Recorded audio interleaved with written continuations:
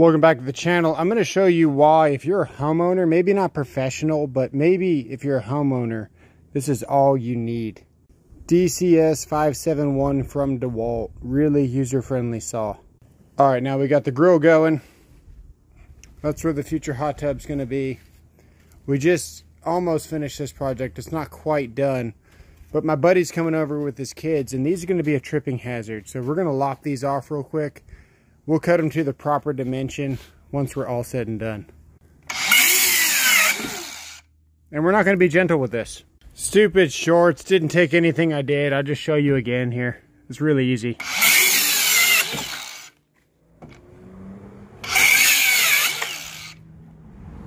Also, don't forget to wear your safety crocs, whatever that means.